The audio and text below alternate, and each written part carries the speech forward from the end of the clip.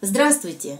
Сегодня я хочу поделиться больше с молодыми хозяйками, как можно сохранить ягоды калины на зиму.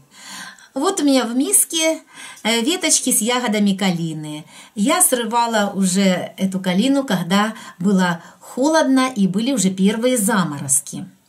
И вот теперь мне нужно э, переработать эти ягодки чтобы сохранить их на зиму. Э, все мы знаем, что ягоды калины богаты витамином С, а значит могут быть очень полезными при простудных заболеваниях зимой, при э, заболеваниях верхних дыхательных путей, при танзелитах, бронхитах, а также при воспалении легких. Так как же сохранить эти очень полезные ягоды на зиму?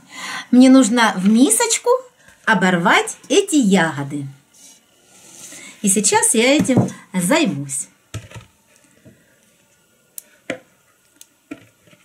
Вот такая немножко кропотливая работа, но это того стоит, чтобы запастись этой целебной ягодой.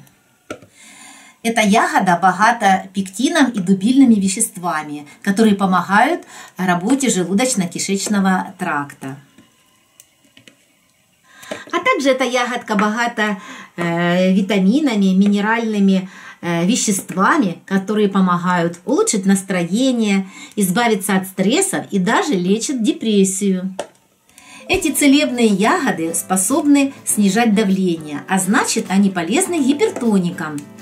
Но у кого пониженное давление, нужно относиться очень осторожно, так как ягоды эти могут еще понизить больше давление. Предварительно веточки с ягодами я помыла, и только после этого стала отбирать. Но потом я еще раз промою уже отдельно ягодки. Вот, и обязательно просушу их. Отделила ягодки от веточек, и вот столько у меня получилось отходов. Теперь нужно еще раз полоснуть ягодки. Высыпаю Так, и промываю.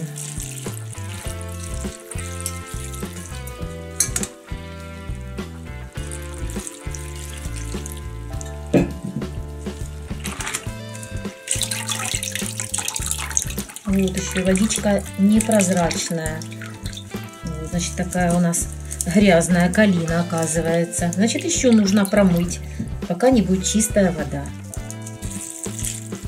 Еще раз промываю.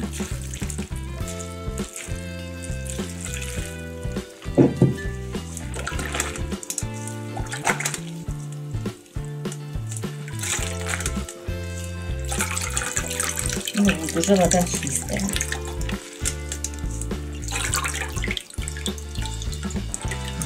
Теперь я воду эту выливаю. Ставлю в мисочку, чтобы полностью стекла вода. Нам надо, чтобы ягодки были как можно суше. Тогда они лучше сохранятся на зиму. Ягоды постояли несколько часов, и вот сколько воды сбежало. Теперь я расстелю силиконовый коврик.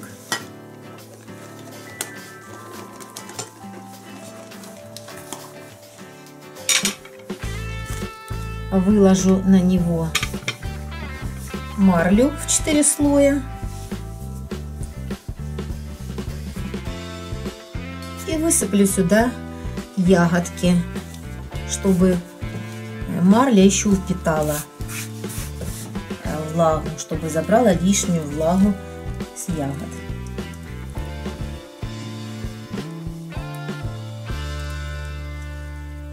Чем меньше влаги, тем лучше сохранятся наши ягодки.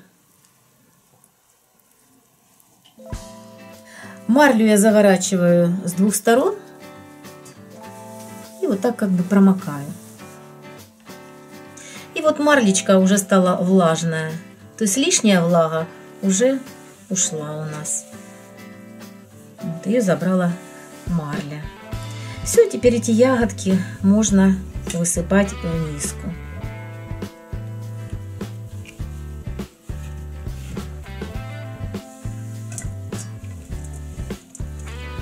В мисочке килограмм ягод. Вот, а здесь у меня килограмм сахарного песка. Я засыпаю ягоды.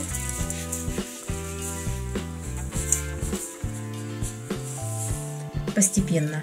И начинаю вот такой толкушечкой их аккуратно так вот приминать. Чтобы ягоды размялись и пустили сок. Высыпаю еще сахар.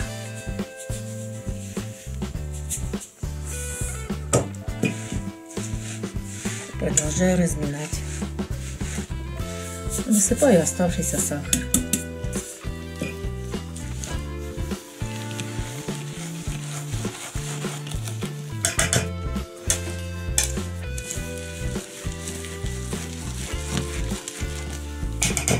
Ягоды пустили сок, и теперь я буду растирать деревянной ложкой. Постепенно, постепенно.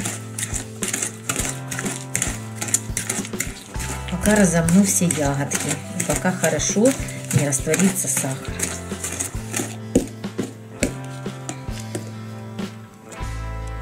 Ягодки уже почти все раздавлены. нужно, чтобы как можно больше растворился сахар. Чтобы сахар растворился, нужно все ягоды подавить, чтобы было больше сока. Теперь в чистые стерильные банки я буду раскладывать ягодки калини. А если протереть через марлю или через сито вот эту массу все, значит получится желе. Вот можно такой крышечкой закрутить.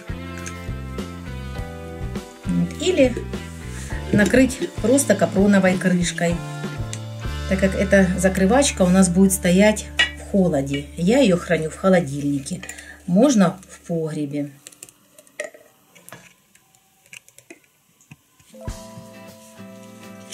Накрываю капроновой крышечкой.